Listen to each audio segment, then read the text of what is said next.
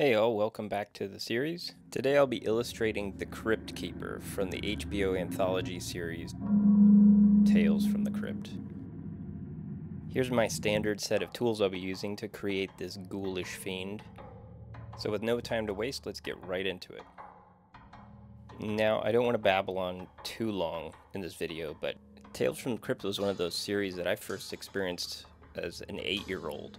And um, I was about 25. I started to look into the history of the comics, and sadly, the banning of the books from the 50s because they thought it was going to influence children and make delinquents out of them.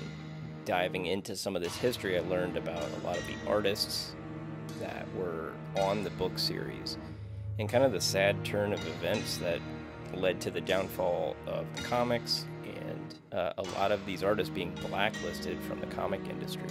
So, really, this illustration is just kind of an homage to those fantastic artists that worked on the Tales from the Crypt series in the 50s, as well as the other EC titles. And uh, hope you guys enjoy.